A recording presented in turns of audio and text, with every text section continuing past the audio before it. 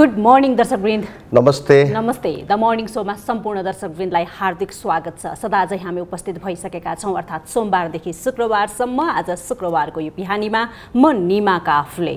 र म शेषराज भट्टराई आज मितिबाटै सुरु गर्दा जेठ छब्बिस दुई हजार अस्सी विक्रम सम्बतमा जुन नौ दुई हजार तेइस इस्वी सम्बतको बिहानीमा छौँ हामी। र यो बिहानीमा कुरा गर्दै गर्दाखेरि चाहिँ मलाई एउटा प्रश्न गर्न मन लाग्यो। अहिले तपाईँ कुन पुस्तक पढिराख्नु भएको छ? तपाईँले प्रश्न गर्नुभयो तर म युवल नो हरारीको पुस्तक पढिरहेको छु एउटा पब्लिक इन्टेलेक्चुअल निमाझी उहाँको पुस्तक पछिल्लो समयमा म फेरि पढिरहेको छु।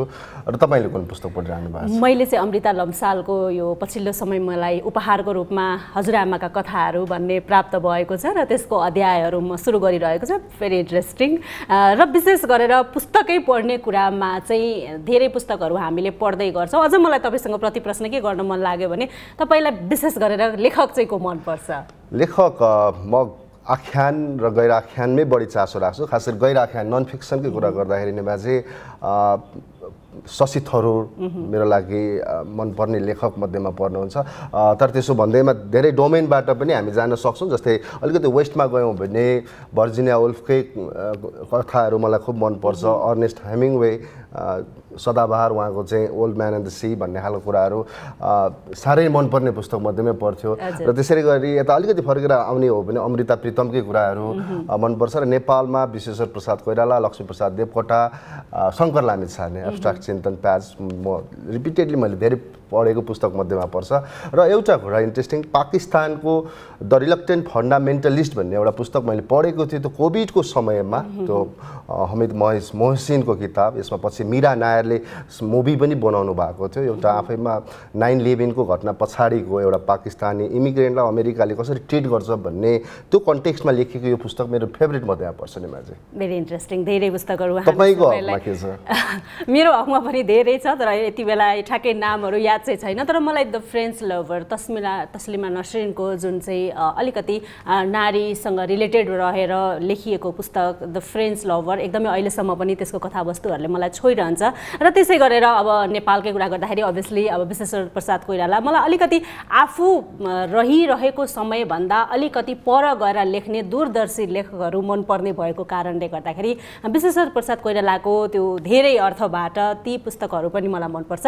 र यी धेरै राइटरहरू हुनुहुन्छ जो राइटरहरूको पुस्तक चाहिँ मलाई मनपर्ने गर्दछ। र आज हामीले यो कुरा किन पनि गरिरहेका छौँ भने आज शुक्रबार आज हामी साहित्य गफ गर्दैछौँ। आज हामीसँग दुईजना विशेष अतिथिहरू हुनुहुन्छ र उहाँहरू इमर्जिङ राइटर नेपालको कन्टेक्स्टमा उहाँहरूको विषयमा आज हामी रिभिल गर्छौँ केही कुराहरू। पक्कै पनि। र आज हामी यति धेरै पुस्तकको कुरा किन गरी पनि गरिरहेका छौँ भन्ने दर्शकवृन्द आज हामीले बुक डे बनाएका छौँ भन्दा पनि हुन्छ द मर्निङ सोलाई किनभने भने यहाँले भनिसक्नुभयो इमर्जिङ राइटर राइटरको कुराहरू हामीसँग यस्तो दुईजना युवा राइटरहरू हुनुहुन्छ जसले चाहिँ केही पुस्तकहरू आइ पनि सकेका छन् र केही चाहिँ आउने क्रममा पनि छन्। यस अर्थमा आज हामीसँग दुईजना राइटर हुनुहुन्छ र मैले कुरा गरेँ भर्खरै प्रकाशित भएको पिपला भन्ने पुस्तक नोभेल बजारमा आएको छ र यसको राइटर हुनुहुन्छ विमल नेपाल। उहाँ लामो समय पत्रकारितामा पनि आबद्ध हुनुहुन्छ र उहाँलाई हामीले गेस्टको रूपमा निम्ति आएका छौँ। र मनिषा गौतसनहरूको हाम्रो गेस्ट हुनुहुन्छ र उहाँका लेखकीय हामीले धेरै त्यस्ता कथाहरू त्यस्ता सङ्ग्रहहरू पढिसकेका छौँ र फेरि बजारमा यतिखेर प्रतिवहन आएको छ। निकै चर्चा पनि पाइरहेको छ यो पुस्तकले। स्वागत गरौँ दुवैजनालाई। स्वागत छ यहाँहरू दुवैजनालाई। धन्यवाद। आराम हुनुहुन्छ। म विमलजीबाटै सुरु गर्छु विमलजी। सुरुमा पिपलाको लागि त यहाँलाई धेरै धेरै बधाई तथा शुभकामना। विशेष गरेर यो नोभेलको नाम पिपला नै राख्नुपर्ने चाहिँ कारण के रह्यो? यो पिपला भनेको चाहिँ यसको परिभाषित नाम चाहिँ यो एउटा यस्तो जडीबुटी हो बहुगुणी जडीबुटी। त्यो जङ्गलमा पाइन्छ। जुन लहरा जसरी फैलिने यो बहुगुणी विभिन्न रोगहरूलाई चाहिँ अचुक उपचार हुने एउटा जडीबुटी हो। यो सहारा पायो भनेदेखि चाहिँ धेरै फैलिन सक्छ। यसले धेरै नै विस्तारित रूप लिन सक्छ। तर सहारा नपाएको खण्डमा चाहिँ यो खुम्चिएर यसले अपेक्षाकृत यो फैलन पाउँदैन र यसले दिने फल पनि अपेक्षाकृत दिन सक्दैन। त्यसै गरी यो उपन्यासकी एउटा पात्र हुनुहुन्छ पिपला। उहाँ चाहिँ त्यस्तै खाले पात्र हो जो चाहिँ धेरै फैलन सक्ने सम्भावना बोकेको क्षमतावान पनि हो। तर विभिन्न कारणले परिस्थितिले परिवेशले उहाँलाई अपेक्षाकृत फैलिन दिँदैन पाउँदैन। अझ भन्नुपर्दा यो उपन्यासको एउटा पात्रलाई चाहिँ बिम पिपलाको त्यो बिम्बसँग पात्रलाई कम्बिनेसन गरेर यसको नाम चाहिँ पिपला राखेको हो र पात्रकै नामबाट चाहिँ उपन्यासको नाम पिपला हो। पिपला यसको नायिका हो।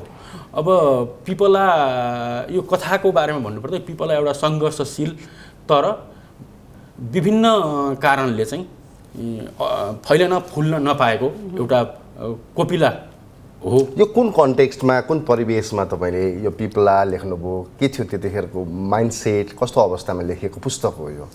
यो पिपला चाहिँ मूलत मैले समेट्न खोजेको विषय चाहिँ त्यो तत्कालीन सशस्त्र विद्रोह नेकपा माओवादीले सञ्चालन गरेको सशस्त्र द्वन्द्व जो थियो त्यो बेलामा स्कुल पढ्दा पढ्दै चाहिँ परिस्थितिले उसलाई चाहिँ माओवादी आन्दोलनमा छ सातमा पढ्ने एउटा बालिका माओवादी आन्दोलनमा होमिन्छन्। उनले एउटा चाहिँ समाजमा भइरहेको अन्याय अत्याचारका विरुद्ध विरुद्ध चाहिँ उनी एउटा चेतनाले चेतना पुरै चेतना निर्माण भएको त हुँदैन तर एउटा त्यो त्यो बेलाको चेतनाले उनी माओवादीमा युद्धमा लाग्छन्। तर माओवादी द्वन्द्वमा चाहिँ उनले सोचे जस्तो हुँदैन। त्यहीँभित्रै पनि एक प्रकारको विभेद जस्तो जुन अपेक्षा हुन्छ एउटा समाज परिवर्तन गर्ने एउटा अन्याय आफूमाथि पनि परेको अन्यायका विरुद्धमा चाहिँ बदलाको भाव एक हिसाबले लिनको लागि उनी गएकी हुन्छन्। तर सोचे जस्तो हुँदैन माओवादी आन्दोलन। र पछि अवतरण सशस्त्र शान्ति प्रक्रिया पछि पनि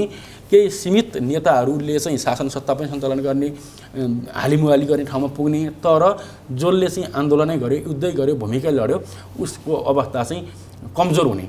अझ उसले चाहिँ समाजमा पुनर्स्थापित हुन नपाउने पढ्न पनि पाएन परिवारको स्थिति डामाडोल भइसकेको हुन्छ र समाजमा पुनर्स्थापित हुन नसकेपछि एउटा बहुलाएको अभिनय गरेर बाँच्न एउटा अभिशप्त भनौँ न एक हिसाबले बाँच्न बाध्य एउटा सङ्घर्षशील नारीको चाहिँ यो कथा हो।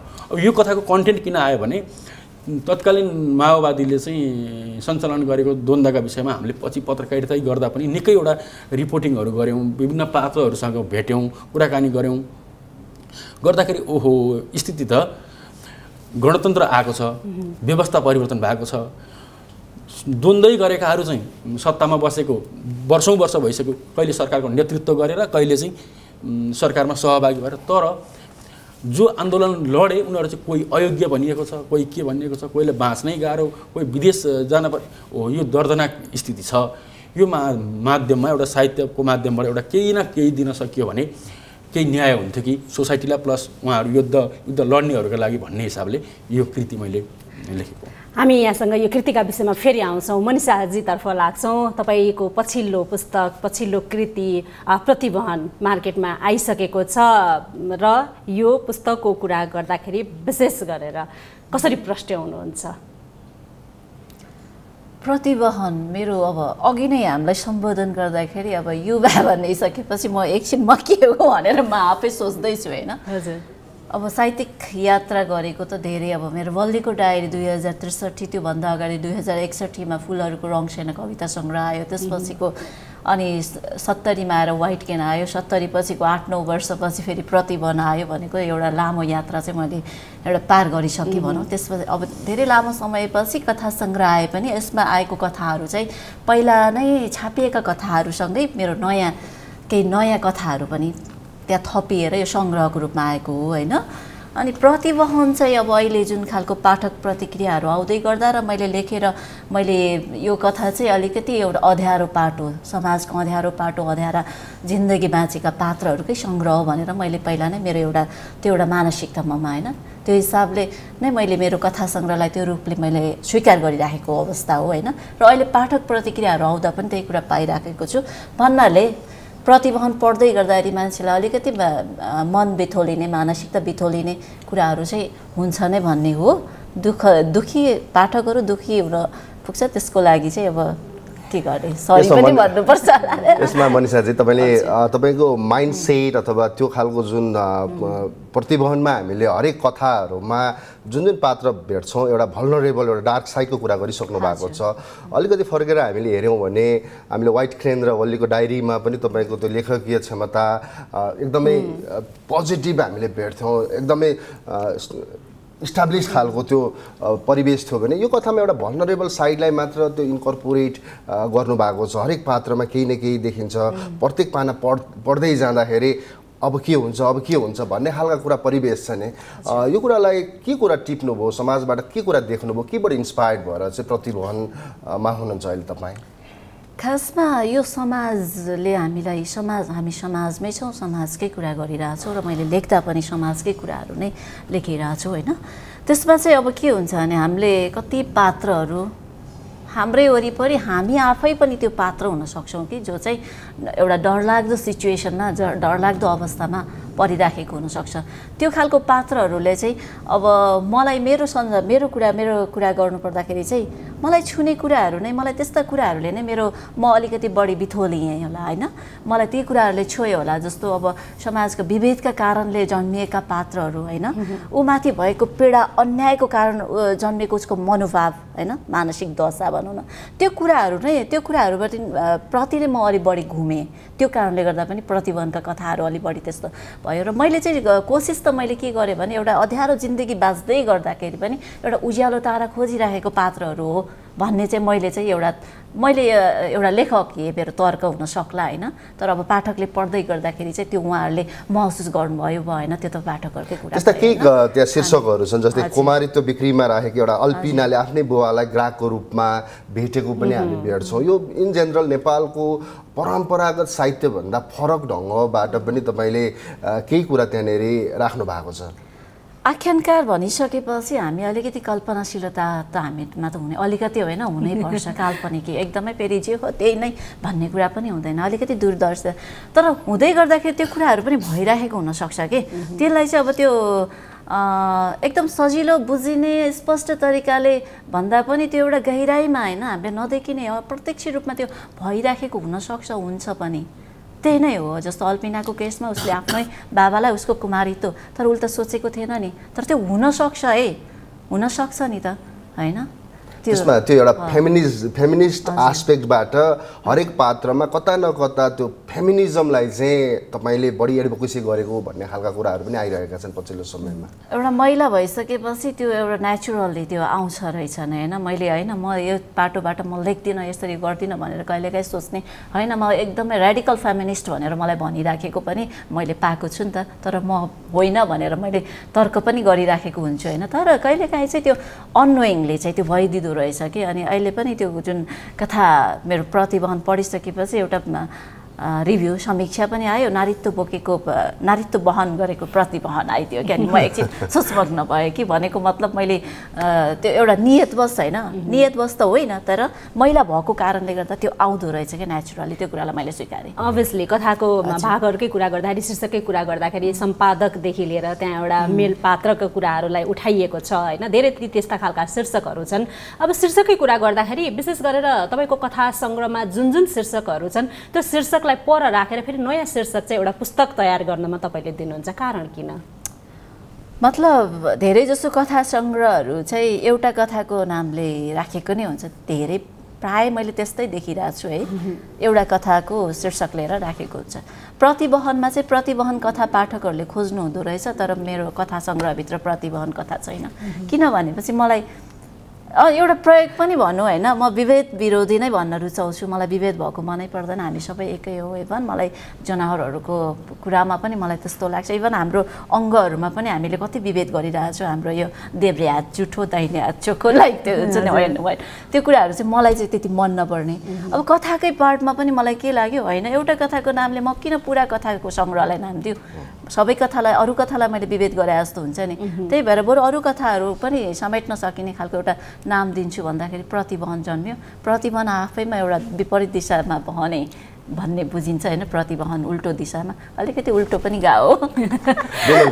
अब यो पिपला जुनको तपाईँ अ, व्यग्र प्रतीक्षामा हुनुहुन्छ रिभ्यू कस्तो आउने एउटा पत्रकार भएर एउटा अवतारबाट निस्केर एउटा लेखकको अवतारमा छिर्दै गर्दाखेरिको के हुन्छ? अब यतिखेरको ड्युरेसनमा अब दुई चार दिन पछाडि पुस्तक बजारमा आउँदैछ।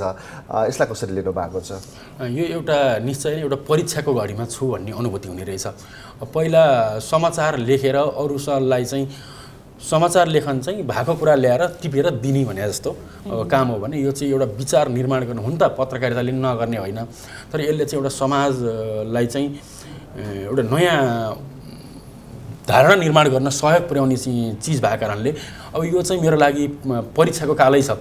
म यसमा कतिको सफल हुन्छु हुन्न त्यो मलाई थाहा छैन।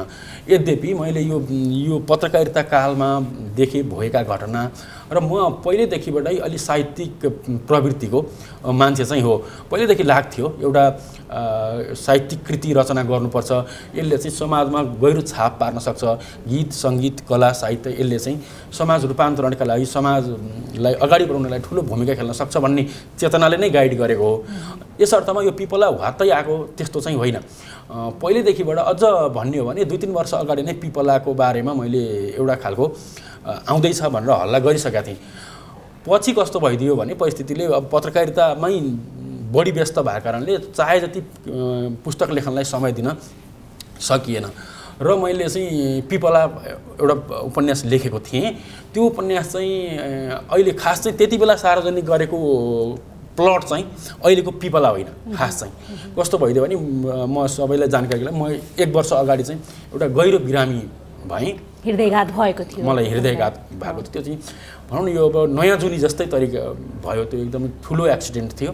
एकदमै टाइममा एकदमै टाइममा अस्पताल पुगेको कारणले बाँच्न सफल भयो बाँच्न सफल भएपछि तत्काल अब कामसाम गर्न नहुने भयो धेरै स्ट्रेसमा पनि बस्न नहुने बाँच्न नहुने भनेर डक्टरले सुझाव दिएपछि यो बिचमा के गर्ने त केही न केही त गर्नु पऱ्यो भनेपछि मैले यस अगाडि लेखेका विभिन्न कथा कतिपय अनुभूतिहरू कतिपय रिपोर्टिङकै सन्दर्भहरू सबैलाई जोडजाड पारेर चाहिँ एउटा नयाँ कृति सिर्जना गर्छु त्यो गर्न त त्यति धेरै तनाव लिन पर्दैन भन्ने टाइप बुझाइ भयो र विगतका ती सबै सन्- सन्दर्भहरूलाई जोडजाड गरेर फेरि सिउने काम चाहिँ विभिन्न फुलहरूलाई जोडेर सिउने काम गरेपछि पिपला चाहिँ के- हुन पुग्यो? मैले पिपलालाई केन्द्रीय पात्र बनाएर पहिला भनिएको लाई बरु नामाकरण पछि अर्को गरौँला। तर यो बिचमा त्यो पहिलाको टुङ्ग्याउन चाहिँ अलि बढी गहिरो विषय गहिरो विषय भएको कारणले अहिले स्वास्थ्यले पनि त्यति धेरै स्ट्रेसमा काम गर्न नहुने।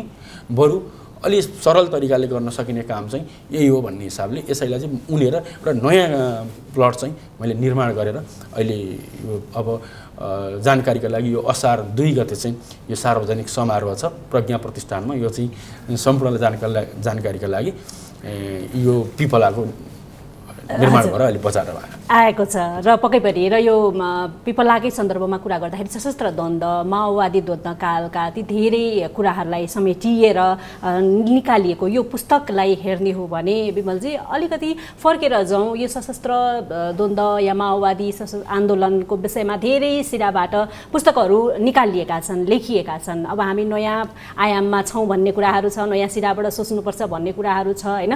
त्यो कारणले गर्दाखेरि फेरि पनि त्यही विषयवस्तु समेटिँदाखेरि पाठकले के नयाँ स्वाद पाउँछन् भन्ने प्रश्न पनि रहन्छ तपाईँसँग?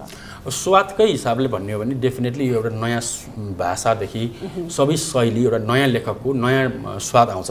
कथाकै हिसाबले भन्ने हो भने पनि यो सबै कथा अहिले भन्यो भने फेरि पढ्न मन नलाग्ला। यो एउटा मजाको एउटा पढ्दै जाँदा तानिँदै जाने कथा छ। र अझ मूलत माओवादीले सञ्चालन गरेको सशस्त्र द्वन्द्वमाथि जति लेखियो नेपालमा यो पर्याप्त अझै पनि छ जस्तो मलाई लाग्दैन। किनभने त्यो त नेपालको निकै गहिरो प्रभाव पारेको कुरा हो नि त। त्यो त हजारौँ हजार नागरिकसँग जोडिएको अब त्यत्रो बलिदानी योगदान योगदान भन्ने कि बलिदानी भन्ने कि त्यो द्वन्द्व बापत पाउने कुरामा आज नेपाली समाजले नेपाली जनताले राहत अनुभूति गर्न पाएको छ त। छैन नि त। यो त मेरो एउटा लेखकीय दृष्टिकोणमा भन्ने हो भने पाएको छैन भन्ने नै हो ठोकुवाका साथ। अब गणतन्त्र आयो गणतन्त्र आए बापत हामी बोल्न पायौँ भनेको भरमा हामी कहिलेसम्म त्यो ठिक थियो भनेर चाहिँ म लिने। हो ठिक छ। हिजो निरङ्कुशता अथवा सा शाही शासनकालमा नपाएका अधिकारहरू पाइएको छ। तर यो गणतन्त्र यो सङ्घीयता यो समावेशी यो जुन धर्मनिरपेक्ष जसलाई चाहिँ खास खास उपलब्धि भनिएको छ यो खास खास उपलब्धि बापत नागरिकले प्रत्यक्ष जीवनमा अनुभूति गर्नुपर्ने कुराहरू चाहिँ के भयो त?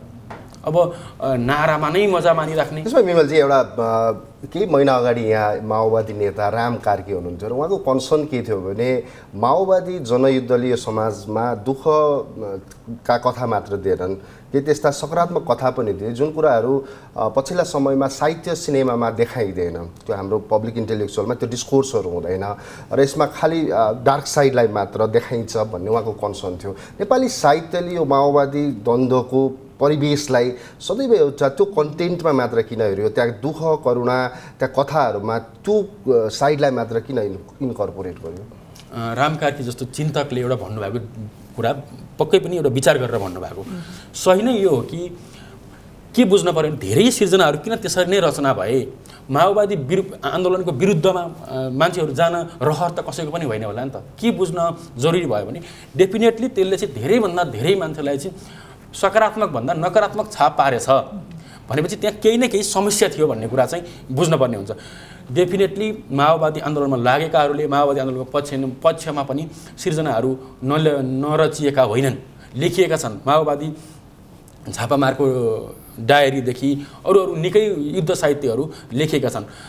तर बढी चाहिँ निश्चय नै बनेका चलचित्रहरू पनि हेर्ने हो भने उपन्यासहरू पनि पढ्ने हो भने लेखेका कथाहरू पनि कविताहरू पनि हेर्ने हो भने माओवादी आन्दोलनको विपक्षमा त नभनौँ त्यसले पारेको नकारात्मक असर प्रभावका बारेमा बढी केन्द्रित छन् र मेरो पनि त्यही नै हो। मनिषाजीलाई नै यही प्रश्न यही यो किन किन रहेछ? नेपालको समाजमा तपाईँ त लामो पत्रकारिता पनि गर्नुभएको छ साहित्यमा पनि लामो अनुभव छ। किन रहेछ? समाजको डार्क साइडलाई मात्र चाहिँ त्यसलाई बोकेर हिँड्ने साहित्यकारहरू बढी त्यो ब्यागेजलाई मात्र किन बोकिरहेका छन्? त्यो अब साहित्यकारहरूको एउटा पहिलो कुरा त स्वभाव होला भन्छु है। लेख्ने मान्छेहरू अलिकति अब पीडामा मेरो मेरो पीडा बिर्सिनलाई म लेख्छु भन्ने खालको धेरै जस्तो त्यही नै जवाफ सुनिन्छ। पहिलो कुरा त साहित्यकारहरूको स्वभावकै कारण हो। उसलाई जेले छुन्छ त्यो कुरा नै लेख्ने हो नि। त्यही हो दुखेका कुराहरूलाई होइन? बिग्रेका भत्केका कुराहरूले नै उसलाई छोयो र त्यही कारणले त्यही कुरा नै लेखेर हिँड्यो र तर तर त्यो लेख्दै लेख्दै गर्दाखेरि हामीले अलिकति उज्यालो बाटो सकारात्मक बाटो चाहिँ खोज्नुपर्छ र त्यो एउटा सन्देश चाहिँ त्यो सँगसँगै दिन सक्यो भने त त्यो राम्रो कुरा हो। फेरि विशुद्ध सिर्जना भनेको त फेरि सन्देश बोकेर फेरि नै एउटा उद्देश्य बोकेर गऱ्यो भने त्यो फेरि सिर्जना नै हुन सक्दैन नि। र सिर्जनाकै कुरा गर्दाखेरि तपाईँको सर्वप्रथम चाहिँ नोभेल उपन्यासको रूपमा वल्लीको डायरीलाई नै हामी कथा सङ्ग्रहलाई छोडेर होइन? र अहिले कवितालाई छोडेर। अहिले कथा सङ्ग्रहमा आउँ। पहिला नोभेल त्यसपछि कथा। प्राय त प्र्याक्टिस भनेको कथाहरू लेख्दै गर्दाखेरि नोभेलसम्म सिर्जना गर्ने खालको हुन्छ। तपाईँ फेरि प्रतिवहनतर्फै हुनुहुन्छ होइन? म मलाई अहिले धेरै जसो त उपन्यास नै निकालिराखेको अवस्था हो। जस्तो नयाँ आउने लेखकहरूले उपन्यास नै बोकेर आइराखेको अवस्था छ होइन? त्यसपछि अब तर त्योभन्दा अगाडि सानो सानो कथाहरू लेखेको एउटा प्रयास निमाजीले भन्नुभयो जस्तै त्यो चाहिँ हुन्छ नै। तर मेरो एक्कासी उपन्यास चाहिँ आएको हो। वल्दीको डायरी पहिलो उपन्यास भनौँ त्यसपछि वाइट केन दोस्रो उपन्यास भनौँ र अहिले आएर कथाको कुरा। र यो कथाहरू पनि उपन्यास लेखिसकेपछिकै कथाहरू हो? त्योभन्दा अगाडि मैले कथा साँच्चै लेखाएको छैन। बरु अगाडि मैले एउटा नाटक चाहिँ लेखाएको थिएँ स्कुल जस्तो एसएलसी भन्दा अगावै एउटा नाटक लेखाएको थिएँ। त्यो पनि एउटा उपन्यास जस्तै एउटा ऊ त हो नि ख्यानमै पढेँ नि। त्यो गरेको थिएँ नि तर अझ बढी अगाडि त मैले कविताहरू नै फाटोफुटो स्कुलमा त्यो जुन प्रतियोगिताहरू हुने त्यो बेलामा भाग लिँदाखेरि मैले कविता लेख्थेँ होइन। तर अब खासमा अब निमाजीले भन्नुभयो जस्तै हो पहिलो उपन्यास एकदमै एउटा उपन्यास लेखिसकेर अब म कथामा आएँ भनिसकेपछि एउटा च्यालेन्ज एउटा रिक्स पनि मैले मल्याउ कि भन्ने खालको कुरा पनि छ होइन? तर कथा लेख्दाखेरिको मजा चाहिँ के छ भने चाहिँ अलिकति छोटो समय छोटो उसमै थुप्रै जिन्दगीहरू बाँच्न पाइन्छ त्यो मतलब। विभिन्न पात्रहरू भएर अब के थाहा होइन धिमाजी भएर बाँच्न पाउला निमाजी भएर बाँच्न पाउला शेष भएर बाँच्न पाउला कथाको कुरा गर्दाखेरि उपन्यासको कुरा गर्दाखेरि त एउटा लामो यात्रा हो नि त त्यो एउटा पात्र हो। र जस दुवै लेख्दाखेरि मजा नै छ तर अहिले कथा लेख्दै गर्दाखेरि पनि एउटा एक खालको मजा नै छ। हामी यो मजामा फेरि आउँछौँ तर त्योभन्दा अगाडि लिनुपर्ने हुन्छ एउटा ब्रेक।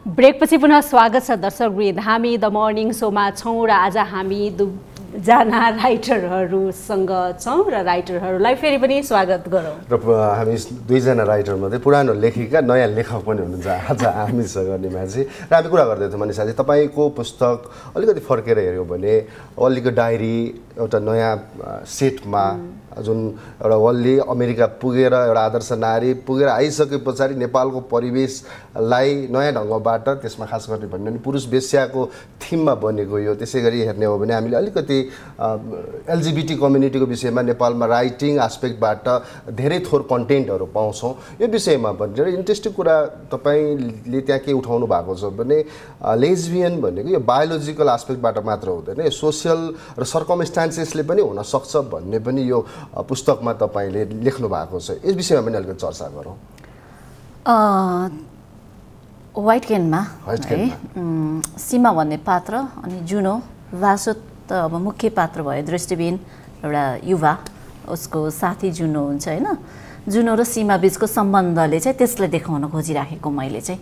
अब बायोलोजिकल साइन्टिफिकल्ली त्यो खालको हुन्छ भन्ने कुरा हुँदै गर्दाखेरि पनि सिचुएसनले पनि मान्छेलाई त्यो खालको एउटा त्यो मनोभाव त्यो मानसिकता चाहिँ पैदा गर्छ त्यो भन्ने खालको चाहिँ मलाई लागेको हो होइन? कतिसँग कुरा अब हामीहरूले बाँच्दै गर्दाखेरि पनि हाम्रै साथी सर्कलमा पनि अलिकति डुबेर बुझ्दा सोच्दाखेरि चाहिँ त्यो हुनसक्छ है भन्ने चाहिँ मलाई लाग्यो कि? त्यो कारणले गर्दाखेरि त्यो पाटोबाट म जान खोजेको अलिकति च्यालेन्जिङ त च्यालेन्जिङ नै हो होइन। बायोलोजिकल्ली मात्रै हुन्छ भनेर तर्क गर्नेहरू त अब भइ नै हाल्छ। अब मैले चाहिँ होइन सिचुएसनले परिस्थितिले पनि मान्छेलाई त्यसरी त्यस्तो बनाउन सक्छ है भन्ने खालको मेरो कुरा भयो होइन। अनि हुन परिस्थितिको अगाडि त हामी फेरि दुई हजार त्रिसठीतर्फ नै फर्केर जाने हो भने बल्लीको डायरी यहाँले अलिकति कुरा पनि निकालिसक्नु भएको छ। बडो त्यो समयमा चाहिँ अलिकति फरक दृष्टिकोणबाट लेखिएका रचना कृतिहरू थियो र मेरो लागि पनि अनौठो थियो त्यो जिगलोसँगको सम्बन्धित धेरै अर्थबाट। म पनि आश्चर्यमा परेको थिएँ शेषजी र यो राइटर कति दूरदर्शी रूपमा लेखिरहेको छ भन्ने कुराले मलाई छोएको पनि थियो र कालान्तरमा विमलजीलाई सेयर गर्नु पर्दाखेरि हामी एउटै संस्थामा आबद्ध भयौँ र चिनापर्चीको क्रममा हामीले एकअर्काको नाम भनिसकेपछि उहाँले म बल्लीको डायरीको राइटर हो भन्दाखेरि म अचम्बित भएको थिएँ र म सरप्राइज एक प्रकारले चाहिँ अरे म मेरो मलाई मन परेको एउटा राइटर होइन मेरो अगाडि भन्ने कुरा पनि आएको थियो। मनिषाजी धेरै धेरै तपाईँसँगको त्यो चिन्जानदेखि अहिलेसम्मको साथीत्वमा धेरै कुराहरू देखिएको छ र त्यो आस्पेक्टमा हेर्दाखेरि तपाईँ कहिले लेजबियनलाई छुन पुग्नुहुन्छ कहिले तपाईँ जिगलोसँग संवाद गर्नुहुन्छ कहिले तपाईँ जनावरहरूप्रति आकर्षित हुनुहुन्छ। कहिले अपाङ्गताको त्यो मुटुलाई ढुकढुकीलाई छुन खोज्नुहुन्छ। के कुराले अभिप्रेत गर्छ? अघि नै भने यो छुने कुरा नै हो कि सबभन्दा पहिला? केले त्यही नै छुन्छ? त्यही नै हो है। तर अब त्यो भन्दै गर्दाखेरि मैले अघि नै भने विभेद चाहिँ मलाई एकदमै मेरो लागि स्वीकार्य छैन। विभेद चाहिँ हुनै हुँदैन भन्ने खालको मान्छे म। त्यो कारणले गर्दा अपाङ्गता भएको समुदायको पात्रहरूलाई ल्याउन खोजेँ। त्यसमा पनि मैले फेरि अब साहित्य साहित्यिक दुनियाँमा लेख्ने क्रममा चाहिँ अपाङ्गता भएको व्यक्तिहरूलाई चाहिँ अलिकति दयाको पात्र होइन? हीनताबोध हिँड्ने किसिमले चाहिँ प्रस्तुत गरेको हुन्छ। मैले चाहिँ उहाँहरूको क्षमता उहाँहरूलाई हिरो उहाँहरू हिरो हुनुहुन्छ। त्यो खालको उहाँहरूको क्षमताको म प्रशंसक पनि हो। त्यो कारणले गर्दा त्यो कुरा त मान्छेहरूले स्वीकारेको छैन देखेको छ बुझेको छ स्वीकारेको छैन। हामीले स्वीकार्नुपर्छ भन्ने हिसाबले पनि अपाङ्गताको क्षेत्रमा कलम चाले हो होइन? त्यसपछि आएर जनावरको कुरा भनौँ यो प्रतिवहनमा अब एउटा कुकुरको कथा पनि छ होइन? त्यो कथा। अब सडकमा अब हामी काठमाडौँ सहरमा छौँ हामी सडकमा कति धेरै दुःख पाएको कुकुरहरू देख्छौँ। अनि बाछाहरू भनौँ न गाईको बाछा है? बाछीहरू चाहिँ दुध दिन्छ भनेर पाल्दो रहेछ बाछा चाहिँ केही पनि दिँदैन भनेर फाल्दो रहेछ के? कस्तो कस्तो डरलाग्दो होइन एउटा मानवीय संवेदना नै छैन कि? कुकुरले पनि खुसी दिँदासम्म चाहिँ राख्छ आफ्नो घरमा। अलिकति बिरामी हुन थाल्यो बुढो हुन थाल्यो भने बाटोमा छोडिदिन्छ कि? त्यो कारणले गर्दाखेरि त त्यो त हामी त मान्छे हो नि त। हामीमा किन त्यो मानवीय संवेदना खोइ? त्यो कारणले गर्दा पनि मेरो त्यो कथाहरू जन्मेको हो होइन? त्यस्तै मेरो कथा पढ्दै गर्दाखेरि कमसेकम अलिकति महसुस त हुन्छ कि होइन? भन्ने खालको मेरो एउटा स्वार्थ पनि हो होइन? त्यो त अब मैले लेखिसकेपछि पाठकहरूले अब त्यो पढ्दाखेरि उहाँहरूलाई के महसुस भयो भन्ने कुरा महत्त्वपूर्ण कुरा हो नि त होइन? तर मेरो दिमाग मेरो एउटा मनस्थिति चाहिँ हामीमा मानवीय संवेदना चाहिँ हराउँदै हराउँदै गएको छ नि त। त्यो हराउनु हुँदैन है भन्ने चाहिँ मेरो एउटा उद्देश्य भनौँ न। मेरो एउटा सोच हो मेरो आफ्नो होइन। त्यो कारणले गर्दा पनि त्यो फरक पात्रहरू अब लेस्बियनको कुरा सम समलिङ्गीको कुरा भयो अब कति त्यो मार्जिनलाइज कम्युनिटीका पात्रहरूलाई चाहिँ हामीले जबसम्म समाजमा जबसम्म हाम्रो लेखनमा उतार्न सक्दैनौँ नि उतार्ने पनि कसरी उतार्ने त भन्ने कुरामा हामीले सोच्नु जरुरी छ। त्यो कारणले गर्दा पनि त्यसमा मेरो त्योमा बढी मैले कलम चालेँ होला। अर्को कुरा चाहिँ फेरि के हो भने एउटा साहित्य लेख्दै गर्दाखेरि म चाहिँ यस्तो गर्छु उस्तो गर्छु भन्दा भन्दा पनि ममा निहित मेरो विचार मेरो सोचले नै मलाई त्यस्तो लेख्नलाई प्रेरित गरेको हो खासमा। इन्सपायरिङहरू तपाईँले कुराहरू राख्नुभयो। कुनै पनि मानवीय संवेदना त्यो पनि मार्जिनलाइज चाहिँ कम्युनिटीलाई मेन स्ट्रिम राइटिङमा ल्याउने कुरा आफैमा चान्चुने विषयवस्तु होइन ह्याट्स अप टु यो अ, यही विषयलाई नै क्यारी गर्दै विमलजी मानवीय संवेदना एउटा लेखकको लागि कति अपरिहार्य छ? अ, निश्चय नै शेषजी। यो मानवीय संवेदना बिना त कसरी यो समाजका अरू पात्रहरूको अझ अहिले कुरा आयो? सीमान्तकृत अथवा लेखक त एउटा नै हुन्छ। अरू मान्छेहरूका भावना अरू उमेर समूहका मान्छेहरूको भावना अरू खाले अनुभूति भएका मान्छेहरूको भावना बुझ्नलाई त मानवीय संवेदनै चाहियो नि। मान्छेलाई अलिक बढी चेतनशील भनेर हामी दाबी गर्छौँ नि जो। मान्छेलाई अलिक चेतनशील भनेर दाबी गर्न बनाएको पनि यो मानवीय संवेदनाले नै हो। अब लेखकहरू चाहिँ मानवीय संवेदनालाई अलि टिपेर त्यसलाई उतार्न पनि सक्ने उनीहरूको फिलिङ्समा आफू डुब्न सक्ने र डुबेर अरूलाई त्यो पुरा प्रस्तुत गर्न सक्ने भएकाले ऊ एउटा लेखक हो। लेखकमा मानवीय संवेदना बुझ्न सक्ने क्षमता चाहिँ महत्त्वपूर्ण कुरा हो। संवेदना बुझ्दाखेरि सक हाम्रो धेरैभन्दा धेरै मान्छेलाई चाहिँ दुःखकै कुराहरूले पीडाकै कुराहरूले सीमान्तकृत मान्छेका आवाज विहीनहरूका आवाजले अहिले मनिषाजीले भन्नुभयो अपाङ्गता भएकाहरूको। अझै सबै खाले मानवीय संवेदनाको केन्द्रीय कुरा चाहिँ सबैभन्दा रिस आक्रोश जे होस् हामीलाई बढी उत्पन्न गराउने भावना उत्पन्न गर्ने यो विभेद विरुद्धको चेतनाले चाहिँ मानवीय संवेदनालाई मलाई चाहिँ झन् बढी जागृत गराउँछ। मेरो मेरो प्रश्नमा तपाईँलाई यहाँनिर जस्तै मेरो क्वेरी के थियो भने जस्तै आज हामी जुन सोसाइटीमा छौँ यो इभल्भिङ सोसाइटी जुन तरिकाबाट डिजिटल टेक्नोलोजीको डिस्ट्रप्सन्सले गर्दाखेरि आज artificial intelligence chat GPT machine लर्निङहरू हलिउडको सिनेमा अब एआईबाट बनाउने र अल जजिराको एउटा टेलिभिजन कार्यक्रममा त होस्ट नै त्यो अब टेक्नोलोजिकल डिभाइस नै राख्ने कुराहरू आइसकेको परिवेशमा त्यो ह्युमन टच को साहित्यको कन् ह्यारी पोटर्स जहाँ साइन्स फिक्सनहरू नै बिकिरहेको छ संसारभरि यस्ता खालका कथाहरूका कन्ज्युमर भनौँ न अथवा ती ग्राहकहरू पाठकहरू घटिरहेका छन्? के छन्?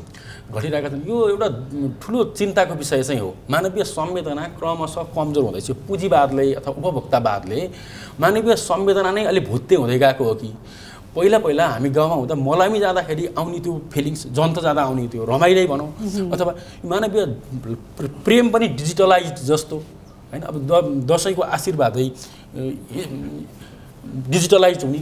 सबै खाले कुरा डिजिटलाइज हुँदाहुँदै अब यो सबै मानवीय संवेदना नै क्रमशः भुत्ते हुँदै जाने पो हो कि भन्ने चिन्ता चाहिँ बढ्दो छ। किन मान्छे मान्छेहरू नै वस्तु जस्तो वस्तुले नै मान्छेलाई चाहिँ गाइड गर्ने जस्तो। साधनले चाहिँ मान्छेको चेतनालाई गाइड मान्छेको चेतनाले चाहिँ साधनलाई प्रयोग गर्नु पर्थ्यो। तर के भइरहेको छ भने यो उपभोक्तावादको एउटा एउटा उत् उत्कर्षै लेभलमा हो। यो हुँदा हुँदा पछि मान्छे चाहिँ मिसिन जस्तो मिसिन चाहिँ चेतनाले चलाउने जस्तो नबन्ला भन्न सकिँदैन एउटा लेखकीय परिकल्पना गर्दा। यो मान्छे निर्माणै पनि अब टेस्ट बेबीबाट हुने भने सबै डिजिटलाइजले गर्दाखेरि हामीले लेखकले मेहनत गरेर पात्र खोजेर पात्रका संवेदना बुझेर पात्रभित्र छिरेर उनीहरूका आवाज उनीहरूका भावनालाई उतारेर ल्याउँदाखेरि पढ्ने पाठक हेर्ने दर्शकहरू चाहिँ कम हुने। अब एक त मात्राको हिसाबले कम हुने। दोस्रो जुन भावनाका साथ रचना गरियो त्यो भावनालाई चाहिँ त्यो भावना त्यही भावनामा नबुझिदिने। पुँजीवादले अथवा यो उसले चाहिँ यति धेरै मान्छेको भावनाहरू चाहिँ भुत्ते बनाएर क्रमशः क्रमशः खियाउँदैछ कि? अब यस्तो लेख्ने जमाना लेखेर बुझ्ने अब धेरै बेरसम्म मान्छे एउटा कसैको भावनामा अडिएर पढिदिएर अनि प्रतिक्रिया दिने लेभलमा नै छैन अहिले। ऊ यति धेरै छिटो छिटो चाहन्छ सबै कुराहरू। त्यो भएको कारणले यसले चाहिँ एउटा गहिरो लेखकीय उसमा चाहिँ असर गरेको छ डेफिनेटली यो डिजिटलाइजले परिवर्तनका कुराहरू नै गर्दाखेरि अब हामी रोमियो जोलियटमा जाउँ या चाहिँ रविन्द्रनाथ टेगोरका ती कृतिहरूमा जाउँ जसलाई चाहिँ सिनेमामा उतारेर दर्शकलाई पढाउन मात्र होइन देखाउनेसम्मका कुराहरू भए र आज पनि ती धेरै अर्थबाट सान्दर्भिक छन्। मनिषाजी एआईकै जमानामा छौँ हामी र यो जमानामा हुँदै गर्दाखेरि अब हाते पुस्तक कतिको फलदायी छ या यही नै कालान्तरसम्म रहन्छ या चाहिँ अरू टेक्नोलोजीले ग्राप गर्नुपर्छ के जस्तो लाग्छ तपाईँलाई? हामी युवा पुस्तावमा पनि छौँ है। यो संसार नै के छ भने एकले अर्कालाई विस्थापित गर्दै गर्दै गर्दै आइराखेको छ यो चाहिँ निरन्तर चलिरहन्छ र हरेक कुराको आयु हुन्छ जस्तो अहिले एआईको कुरा आइरहेछ नि त। जस्तो अब टेक्नोलोजीले मान्छेलाई मान्छेलाई डोहोऱ्याउने भन्ने कुरा विमलजीले पनि गर्नुभयो होइन। सबै कुराको हामीले अहिलेसम्म बाँचेको समयमा हेर्दै कुरा हेर्दै गर्दा पनि हरेक कुरा एकले अर्कालाई विस्थापित गर्दै जाने हो। तर पनि महत्त्वपूर्ण कुरा भनेको जुन फेरि अघि आयो मानवीय संवेदना भन्यो नि होइन? त्यो समवेदना नहुने बित्तिकै त यो सृष्टि यो संसार हामीले त कल्पना गर्न पनि यो त फरक खालको संसार हुन सक्ला होइन? त्यसमा त्यस त्यति बेलाको फेरि संवेदनाको कुरा फरक होला। होइन? त्यो कुराहरूलाई पनि हामीले स्वीकार्नै पर्ने हुन्छ कि? मैले भनिहालेँ सबै कुराको आयु हुन्छ नि होइन? त्यही भएर अब हाम्रो जुन यो यो ह्युमानिटीको कुरा यो मानवीय संवेदना हामी यसरी बसेर कुरा गरिरहेछौँ अनि कथाका कुरा गरिरहेछौँ यो गरिरहेछौँ होइन? यो फेरि फरक तरिकाले होला होइन? फरक समयमा होइन? त्यो पनि हुन सक्ला कल्पना गर्दै गर्दाखेरि। त्यही नै हो। यो निरन्तर एउटा साझा। प्रश्न यही विषयमा दुवैजनालाई पहिले तपाईँबाट सुरु गरौँ। यो बदलिँदो परिवेशको यो समाजको स्वरूपमा साहित्य कहाँ छ? अझ नेपाली साहित्य कहाँ छ? अब फेरि नेपाली साहित्य कहाँ छ भन्दाखेरि विश्व साहित्यको कुरा गर्दै गर्दा विश्व साहित्यसँग नेपाली साहित्यले अहिलेसम्म प्रतिस्पर्धा किन गर्न सकिरहेको छैन होइन?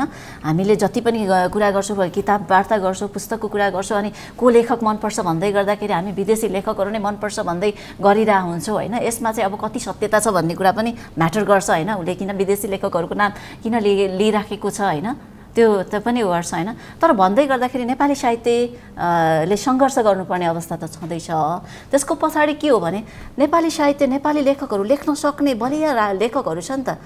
उहाँहरूलाई साथ खै त सहयोग खै त? हाम्रो साहित्य बलिया साहित्यहरू जन्मिएको छ नि त त्यो साहित्य अनुवादित भएर विश्वमा पुगेको खोइ त? होइन? त्यो त त्यो सकेको छैन नि। अब अहिले पनि प्रतिवहन निस्किन साथै अब देश विदेशमा रहेका मेरा साथीहरूले प्रतिवहन पढ्न चा चाहे भनेको छ नि त। मैले कसरी म कसरी पुग्ने उहाँहरूसम्म होइन? त्यो माध्यमहरू नै छन्। नेपाली हामी हाम्रो देश हामी एकदमै पछाडि छौँ कि। जे कुराको लागि पनि हामीलाई एकदमै बाधा अडचनहरू छ कि। हामी सजिलो विश्वमा पुग्नै सकिरहेको छैनौँ। जबकि विश्व साहित्यलाई हामीले हाम्रो ढोकामा चाहियो भने हामीले पाइहाल्छौँ कि। तर हाम्रो नेपाली साहित्य पाउँछ त। पाउँदैन नि त। पायो भने पनि अब भाषाको कुरा जुन अनुवादकको कुरा हुन्छ सरकारले गर्ने सहयोगको कुरा हुन्छ केही पनि छैन। परिवारले गर्ने सहयोगदेखि समाजले गर्ने कुराहरू हुन्छ। लेखकलाई लेखक मात्र होइन कलाकारहरू अब चित्रकारदेखि लिएर यो यो सृजनशील यात्रामा लाग्नेहरूको अवस्था चाहिँ एउटा दयनीय नै छ भन्छु कि? कतैबाट सपोर्ट छैन कतैबाट छैन के हुन्छ यही प्रश्नमा? म मनिषाजीको तर्कसँग सहमत छु।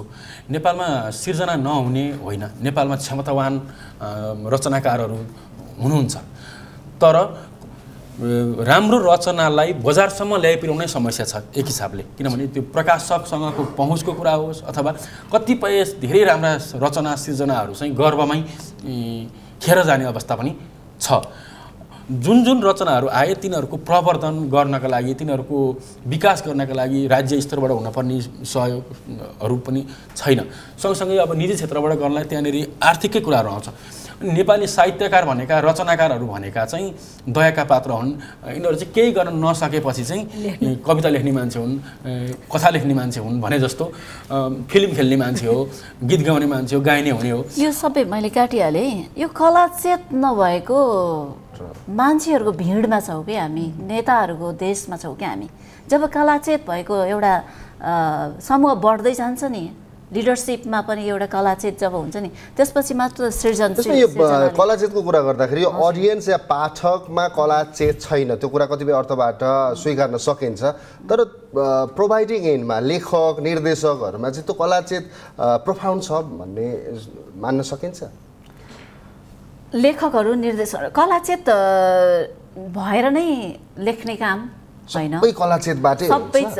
कला चेतको पनि त प्रवर्धन गर्नु पर्यो नि। जस्तै एउटा राम्रो? कलाकार हुन सक्ने मान्छे एउटा निर्देशक अथवा लेखक स्क्रिप्ट राइटरै जो होस् फिल्मकै कुरा गर्ने भने राम्रो भएर मात्र त्यसलाई त बनाउनु पर्यो नि त। यो अहिलेको समाज अनुसार निर्माण गर्नु पर्यो नि त। शेषजीको प्रश्नको कुरा मैले बुझेँ। सबैजना यहाँ फेरि के भइदियो भने फेसन हुन्छ नि त।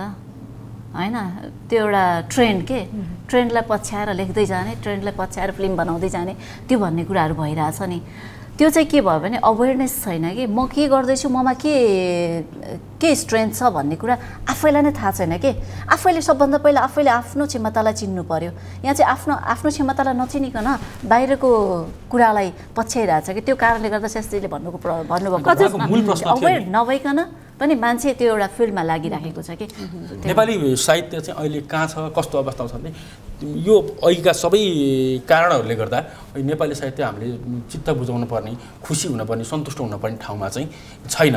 यसका लागि चाहिँ अझै धेरै सिर्जना गर्ने मान्छेदेखि यसलाई प्रवर्धन गर्ने निकायहरू सरोकारवाला सबैमा चेतना जरुरी छ। नेपालको सम्पूर्ण राजनीतिक सामाजिक परिवर्तन अथवा त्यसको लागि नेपाली साहित्यको कलाको भूमिका त महत्त्वपूर्ण छ।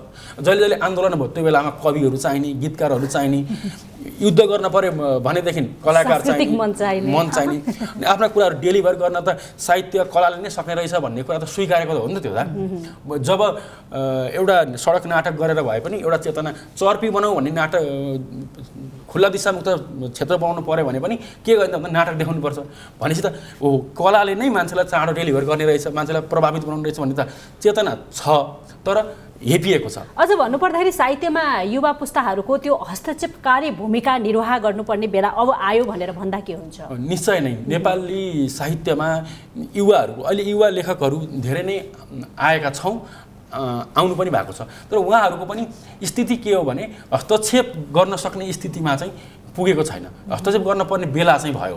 तर उहाँहरूको गुणस्तर एउटा एउटा लेखक निर्माण गर्न चाहिँ यो राज्यले के लगानी गर्छ त? के वातावरण बनाउँछ त? एउटा विश्वविद्यालय अथवा केही पनि छैन मलाई चाहिँ मैले लेख्नुपर्छ भन्ने चेतना मैले लेख्नुपर्छ भने हुटुटी मलाई लेख्नुपर्छ मेरो संविधानले झकझक्याउने मेरो साथीभाइले खोइ लेख्छु भने त्यस लेखिनुहोस् त भन्ने बाहेक एउटा राम्रोसँग मेरो लेखकीयलाई मेरो लेख चेतनालाई मेरो सृजनालाई माझ्ने मस्काउने चम्काउने बनाउनलाई त कसैको पनि केही छैन नि। अझ भन्नुपर्दाखेरि शेषजी जस्तो भारतकै राइटरको कुरा गर्ने हो भने चेतन भगतको हाफ गर्लफ्रेन्डले विश्व बजारमा जसरी मार्केट पाउँछ हाम्रो सुबिन भट्टराईको सायाले त्यही अनुसार पायो कि पाएन भन्ने खालका प्रश्न पनि हुन्छन्। के लाग्छ? अब हामी पनि यो डिस्कोर्समा छिर्नुपर्ने जस्तो लाग्छ। जबकि मनिषाजी अ, कथा आफैमा अब कति गर्विलो कति दर्विलो हुनुपर्छ या यही कारण मात्रै हो कि विश्व मार्केटमा कम्पिटिसन गर्न नसक्ने के जस्तो लाग्छ यहाँलाई? या पाठकको त्यो अ, साहित्य चेतलाई अलि अन्डर इस्टिमेट गरिदिने पो हो कि?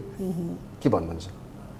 यो अहिले यो अहिलेको समाज भनेको चाहिँ के भन्छ एउटा सेटिङमा चलिरहेको अवस्था छ क्या कोही लेखकलाई एउटा मञ्च पाउनको लागि कतै न कतै सम्बन्ध जोडियो भने उसले छिट्टै मञ्च पाउँछ कि?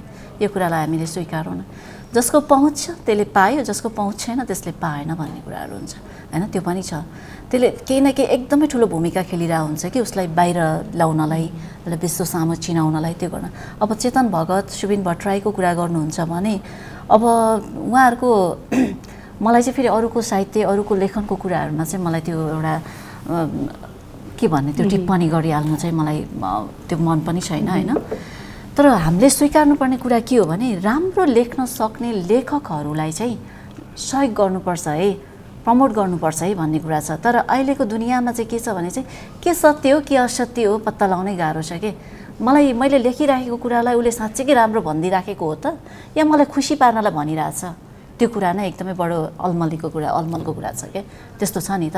त्यही भएर चाहिँ तर यदि राम्रो कुरा छ हामीले लेखेको कुरा साँच्चैकै राम्रो छ भन्ने कुरा छ भने त्यसलाई बचाउन त्यसलाई मासमा पठाउनलाई चाहिँ सम्बन्धित निकायहरूले चाहिँ सहयोग गर्नै पर्छ भन्ने छ। तर सम्बन्धित निकाय पनि नियत बस चल्ने भएर गाह्रो छ हामीलाई। त्यही हो। विमलजी अब यो थोरै अब हामी पिप्लातिर तर्फै लागौँ र पिप्ला किन पढ्ने नेपाली साहित्यका अनुरागीहरूले। यो पिपला चाहिँ एक त माओवादीले त्यतिखेर सञ्चालन गरेको सशस्त्र द्वन्द्वका असरहरू चाहिँ अहिलेको नयाँ पुस्ता जति बेला चाहिँ शान्ति प्रक्रिया भयो बैसठी त्रिसठी सालमा चौसठी साल पछि जन्मेका धेरै युवा पुस्तालाई त त्यो बेलाको घटनाबारे थाहा नै छैन। कतिपय कुन भूगोलका बारेमा लेखिएको छ कतिपय कुन भूगोलको कुन परिवेशका बारेमा एक त त्यो चाहिँ त्यो बेलाको स्थितिबारे एउटा जानकारी पनि लिन जरुरी छ यो पछिल्लो पुस्ताले। दोस्रो यो त्यसले चाहिँ कुन कतिसम्म प्रभाव पारेको रहेछ एउटा यहाँ धेरै ठुलो कुरा छैन। एकजना मान्छेको जीवनमा एकजना मान्छे भनेको त ऊ प्रतिनिधि पात्र हो नि त। अरू धेरै समाजका पात्रलाई चाहिँ इङ्गित गर्छ। कति धेरै असर गरेको छ। अब त्यो असरबाट अब हामी अझै पनि त्यसै गरी मैले अघि नै पनि भने हामी भएको प्राप्त परिवर्तन व्यवस्था परिवर्तन भयो भनेर मक्ख परेर बसेर मात्रै हुँदैन। अब हाम्रो अवस्था परिवर्तन गर्नका लागि पनि दबाब दिन जरुरी छ। अझ मूलत नेतृत्वलाई। यसै गरी जे गरे नि हुन्छ यी जनता भनेका त हामीले भनेपछि बोलिदिएपछि जे पनि मानिहाल्छन् भोट हामीलाई हाल्ने बाहेक अरू ठाउँै कहाँ छ र? पिप्ला कहिले आउँदैछ पुस्तक चाहिँ बजारमा? यो पुस्तक दुई गते। असार दुई गते दुई बजे कार्यक्रम छ नेपाल प्रज्ञा प्रतिष्ठानको हलमा। यो यही कार्यक्रम मार्फत सम्पूर्ण दर्शकहरूलाई हार्दिक निमन्त्रणा पनि छ। आइदिनुहोस् अ, पढिदिनुहोस् पुस्तकको मूल्य चाहिँ कति छ? यसको मूल्य चार सय पचास उनान्चास रुपियाँ छ। अब त्यो चार सय पचास रुपियाँ।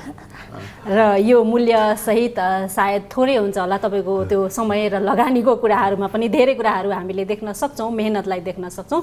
धेरै धेरै शुभकामना छ पिपलाको लागि हाम्रो तर्फबाट यहाँलाई। अब मनिषाजीकै प्रतिवहन पनि भोलि औपचारिक रूपमा अझ भन्नुपर्दाखेरि क यस विषयमा चाहिँ गहन अध्ययनका लागि भनेर केही कार्यक्रमहरूको आयोजना पनि गरिएको छ होइन? यो आवश्यकता किन पर्यो? प्रतिवहन चाहिँ चैत्र महिनातिरै गइसकेको बजारमा चाहिँ विमोचन गर्नुपर्ने थियो हो। विमोचन चाहिँ भएन। भव्य विमोचन हुनुपर्ने भन्ने खालको कुराहरू पनि हुन्थ्यो होइन। तपाईँ योबाट अलिकति परै बस्नुहुन्छ। परै बसेँ। विमोचन अहिले पनि कार्यक्रम खासै नगरौँकै भन्ने सोच थियो। म चाहिँ केही पाठक प्रतिक्रियाहरू नै पर्खिराखेको थिएँ। त्यो कुरा अब अहिले प्रतिक्रियाहरू पनि आउने क्रम छ। त्यसले गर्दाखेरि चाहिँ ठिक छ एउटा कार्यक्रम गरौँ भन्ने एउटा हिम्मत पनि दियो र कार्यक्रम गर्दै गर्दाखेरि पनि एउटा अपाङ्गताको समुदायबाट एउटा वक्ताको रूपमा पनि एकजना आउँदै हुनुहुन्छ। त्यो अलिकति मिनिङफुल कार्यक्रम गरौँ भन्ने हिसाबले यो भोलि नै छ है। फेरि भोलिको लागि मैले तिनैजनालाई निम्तो पनि यही गरेँ हो। शिल्पी नाटकघरमा साढे दुई बजे छ। धन्यवाद। थ्याङ्क यू सो मच हामी अ, मलाई अलिकति अब यो पुस्तकमा यो रमाइलो भइरहेको सन्दर्भमा चाहिँ म तपाईँबाट सुरु गर्छु। तपाईँलाई आख्यान कि गएर आख्यान? कस्तो खालको पुस्तक मनपर्छ? ममा त्यो अघि उहाँले भने जस्तो साहित्य क्षेत्र कम भएको हुनाले गर्दाखेरि म गएर आख्यान। मनिषाजीलाई। मलाई प्रश्नको तिर हो यो।